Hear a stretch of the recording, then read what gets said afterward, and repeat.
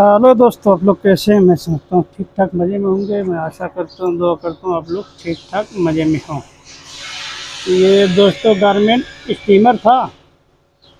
अगर ऐसे ना समझ में आता हो तो मैं अभी इसको रेडी करके दिखाता हूँ, फिर आप लोग को चालू करके दिखाएगा। ये इसका पानी वाला बॉक्स है, जो हमने ये पानी भर के रख लिया। यही यही उसमें लगता है। देखो, ये पानी भरा हुआ है। तो अभी इसका हम पहले सही करते हैं, फिर उसके बाद चेक करके दिखाते हैं। ये हमारा एलिमेंट वाला एरिया रहा। और ये रहा हमारा लीड और देखो यहाँ पर स्विच लगी हुई है। और अंदर साइड में इधर ये जो वायर आए हुए हैं, ये ये अंदर सिलेक्टर स्विच जो अभी हम उसको पलटेंगे तो दिखाएँगे। और तो दोस्तों देखो ये हमारा मेन लीड रहा। तो चेक कैसे करते हैं, क्या ख़राब है। पहले एक रख लेंगे इसके। और देखो ये वायर यही आए हुए हैं यही वायर आए हुए हैं। तो पहले हम ये देखो ये एक वायर आया हुआ है, रेड वाला। और देखो ये ब्लू से ये यहाँ से सफ़ेद हो गया, वाइट। और ये अर्थ का है।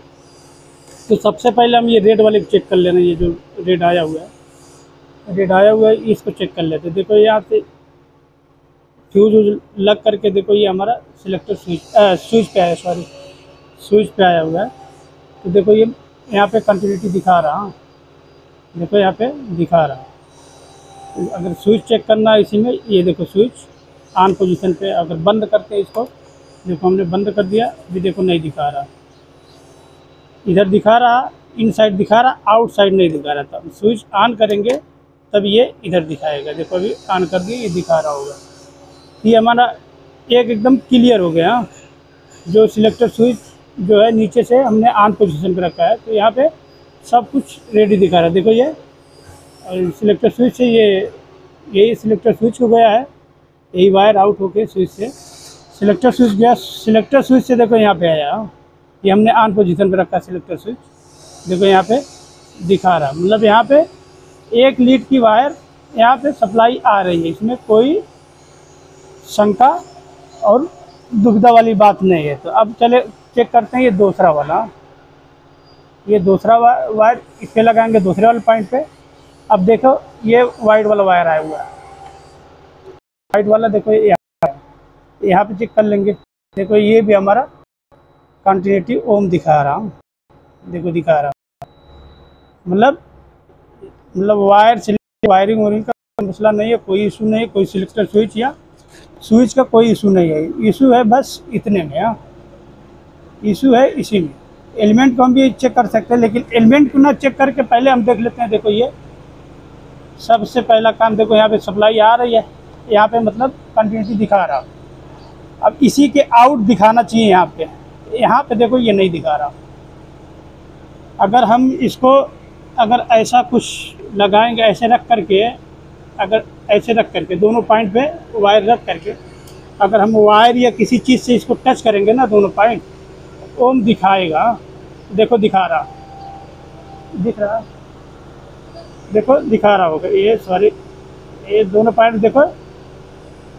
देखो, दिखा रहा हूँ। मतलब खाली बस हमारा ये सेफ्टी प्रोटेक्शन के लिए लगा रहता है ये। हम इसको चेंज करते हैं, फिर चालू करके दिखाते हैं। तो दोस्तों, और दोस्तों देखो ये। ओम क्वान्टिटी कुछ भी नहीं दिखा रहा। ये देखो, और देखो ये हमारे पास एक और है। देखो ये दिखा रहा है। जो है कि ये हमारा ये वाटर डिस्पेंसर का है। तो काम वही करता है सेम ये कोई इसमें इशू नहीं है कि ये अलग है, वो अलग है। तो चलो इसको चेंज करते हैं, फिर चालू करते हैं। खोल लिया हमने, अब ये लगाएँगे